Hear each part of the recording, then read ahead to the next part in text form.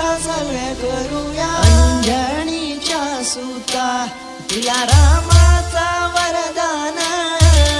एक मुखाने बोला बोला जय जय